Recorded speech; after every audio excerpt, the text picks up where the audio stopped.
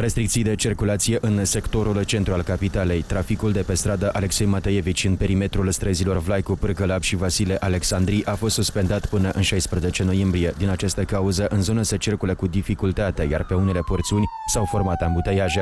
Potrivit autorităților municipale, pe acest tronson sunt efectuate lucrări de reabilitare a rețelelor de canalizare. Conducătorii auto sunt îndemnați să respecte indicatoarele rutiere temporare și să se conformeze cerințelor inspectorilor de patrulare.